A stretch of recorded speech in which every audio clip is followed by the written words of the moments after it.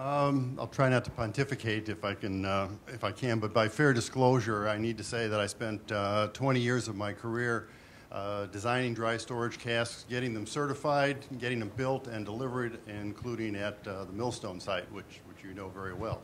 Does anybody on this panel um, know?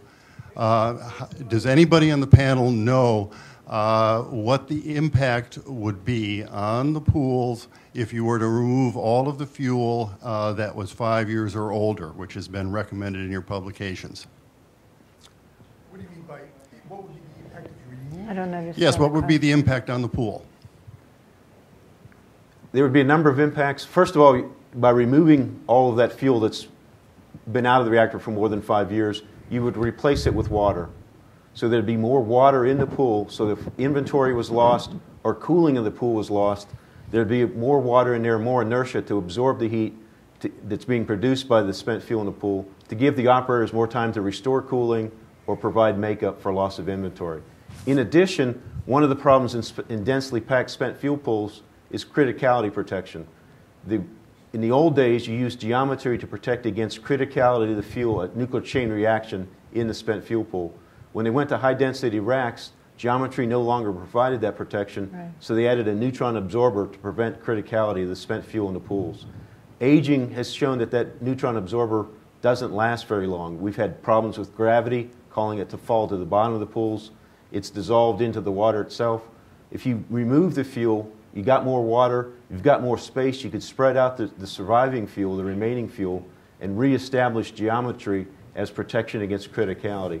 You're dealing with the risk of meltdown of the fuel or the fire of the fuel in the spent fuel pool. You're reducing the probability, you're reducing the consequences, you're reducing the risk. You're also better protecting against the other casualty, which is a criticality in the spent fuel pool. So it's a, it's a, there's a lot to gain and very little to lose. I'd also add that if uh, the worst happened, you would have a far uh, less consequences because you would have uh, less radiation going out.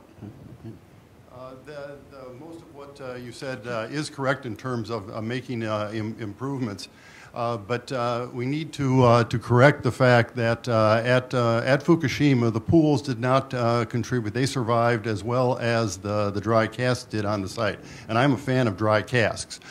Uh, however, I've, I've run the numbers on Fukushima, and if, if we did what you suggested and removed all of the fuel that is uh, five years or older, it would have reduced the heat load in that pool by less than 6%, which is a trivial amount. It would not have impacted uh, the sequence of events that took place at all. If you take a look at the, uh, the, the heat loads in the pools in the United States, yes, they are densely packed, but the number of assemblies is far less important than the number of kilowatts of heat that are being generated. And removing the five year old and older fuel has almost no impact on that heat load because of the exponential decay. The heat load is driven almost entirely by the last discharge. And you cannot remove that fuel to dry storage uh, for at least three to five years. So you can't really do a great deal of mitigation uh, by removing all of that fuel. I'd be happy to sell you the casks if you want to do it, but I don't think it's going to uh, make uh, that much of an improvement. You're right about the, the neutron absorbers. You're talking about Boraflex. That was another horrible mistake. Uh, that ma- material is not being used in pools anymore. The materials that are being used now uh, are going to stand up. Uh, they're solid materials and they are not going to fall apart the way the Boraflex did. I'd like to respond to that in a few cases because I disagree with just about everything. The Fukushima, the spent fuel pools did survive, but you got to recall that the reactor buildings blew up, which provided pathways for helicopters to drop water into the spent fuel pools and water cannon to shoot water from below. Hopefully, in our reactors, we don't blow up reactor buildings in order to provide the cooling makeups to the spent fuel pools. That's not the way to solve the problem.